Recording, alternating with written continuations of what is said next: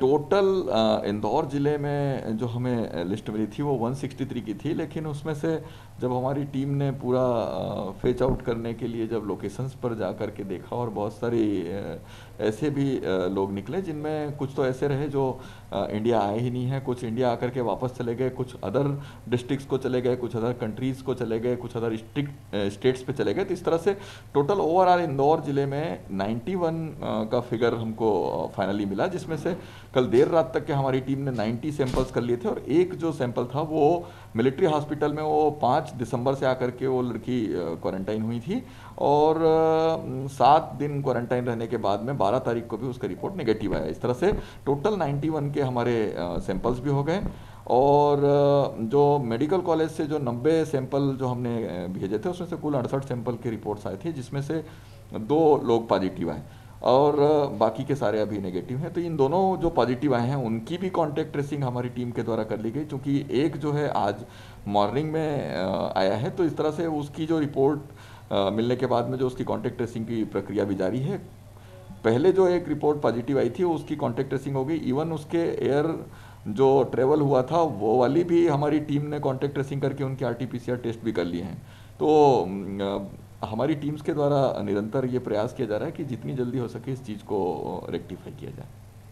Sir अभी जो आंकड़े आ रहे हैं, उसमें काफ़ी कम जा रहा है, जबकि ऐसा बताया जा रहा था कि ठंड में केसेस बढ़ेंगे, लेकिन कम हो रहे हैं। देखिए?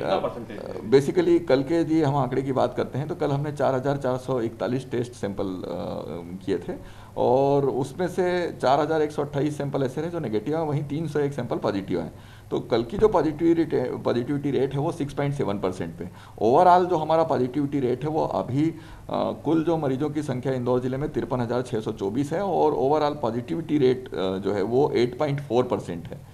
तो ओवरऑल पॉजिटिविटी रेट में बहुत ज़्यादा डिक्रीज नहीं दिख रहा है और बेसिकली अभी जो ट्रांजिशन फ़ेज़ वाला जो टाइम था, जिसमें थोड़ा सा इन्फेक्शन के चांसेस बढ़ते हैं। वो वाला पीरियड भी जा चुका है और अभी कोल्ड के कारण भी जनता के द्वारा जो है कहीं ना कहीं जागरूकता भी दिखाई जा रही है। आप लोगों के माध्यम से भी हमने उनको जागरूक करने का निरंतर प्रयास किया है और इसमें आप लोगों का भी बड़ा योगदान है जिसके कारण जनता ने जागरूकता दिखाई है। तो कहीं ना कहीं ये सोशल डिस्टेंसिंग मास्क और सैनिटाइजर का उपयोग भी इसमें बहुत बड़ा एक अहम रोल प्ले कर रहा है जिससे कि अभी संख्या जो है पॉजिटिव मरीजों की कम आ रही है। डीटीएफ की बैठक हुई थी सर? क्या उसमें बातचीत हुई है बेसिकली डिस्ट्रिक्ट टास्क फोर्स की जो बैठक थी, उसमें हम आने वाले दिनों में जो वैक्सीनेशन का प्रोग्राम ऑर्गेनाइज करना है, कोरोना वैक्सीन को लेकर के, उसको लेकर के विभिन्न विभागों के बीच में अंतर विभागीय सामंजस्य स्थापित करके इस प्रक्रिया को कैसे अच्छे से इसको मैनेज किया जाए, वो मैनेजमेंट के लिए थी।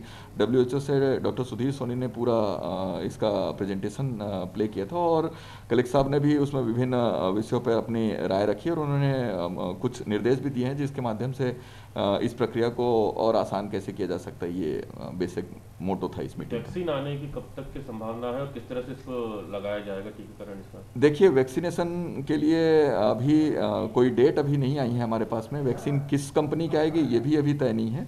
जनता में भी अभी बहुत तीन तरह के लोग हैं जिसमें एक ऐसा है कि जो चाहता है कि वैक्सीन लगवाना है। दूसरे लोग ऐसे हैं जो मीडिया की रिपोर्ट्स और इन रिपोर्टों के बाद में वो दुविधा की स्थिति में है कि हम वैक्सीन लगवाएँ या नहीं लगवाएँ। और तीसरे स्थिति में वे लोग हैं जो बेस्ट वो दे रहे हैं कि जो बिहेवियर जिनका बिहेवियरल यदि हम बात करें तो वो लोगों के द्वारा ऐसा ये शो किया जा रहा है कि वो बेहतर तरीके से वैक्सीन आने के बाद में भी लोग अपनी जो सोशल डिस्टेंसिंग मास्क और vaccine sorry social distancing mask और सैनिटाइजर का उपयोग करते हुए उसको वैक्सीनेशन का प्रोग्राम भी कराएँगे। तो ये कुल मिलाकर के जनता को जागरूक करने के लिए भी है और अंतर विभागीय समन्वय के माध्यम से कि हमें वैक्सीनेशन के लिए कौन सा स्पॉट चयन करना है, इसमें भी सभी विभागों में समन्वय ज़रूरी है। फिर वैक्सीन जब वैक्सीनेशन का प्रोग्राम ऑर्गेनाइज होगा तो उसमें जो टीम लगेगी उसमें भी अंतर विभागीय समन्वय की ज़रूरत है। तो बेसिकली डीटीएफ का जो मकसद था वो यही था कि अंतर विभागीय समन्वय स्थापित किया जाए और